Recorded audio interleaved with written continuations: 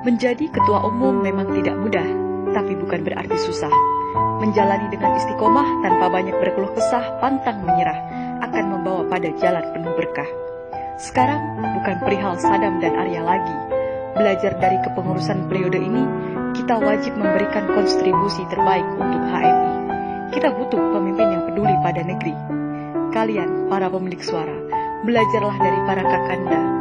Dualisme tidak menghasilkan apa-apa, hanya memperburuk suasana, merusak cita-cita himpunan tercinta.